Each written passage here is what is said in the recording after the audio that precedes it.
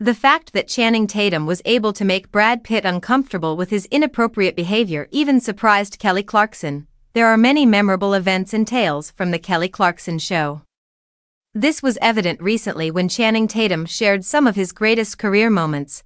Working with Brad Pitt was one of the goals of a lifetime. Tatum told Clarkson that the encounter exceeded his expectations and that he even felt uncomfortable leaving Pitt. Going to look more closely at Channing's interaction with Pitt and Kelly Clarkson's response to the tale.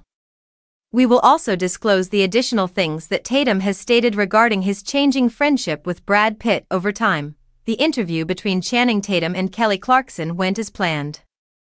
During his conversation with Kelly, the actor revealed a few amusing things, one of which was about his time working with Brad Pitt on Bullet Train. The revelations, which Tatum revealed he was able to make Pitt uncomfortable during his cameo, stunned Kelly as well as fans. Channing confides in Kelly, saying, It was a dream come true to engage in inappropriate sexual behavior with Brad in Bullet Train. I had no idea that there was a bucket that could be filled but high. I believe I once uncomfortable him. I was like, did I reach a line there? Tatum continues. Clarkson was astounded as well. More of a bonus, she says to Tatum. Because it appears like he's up for any old S. Thus, good work if you're causing him discomfort.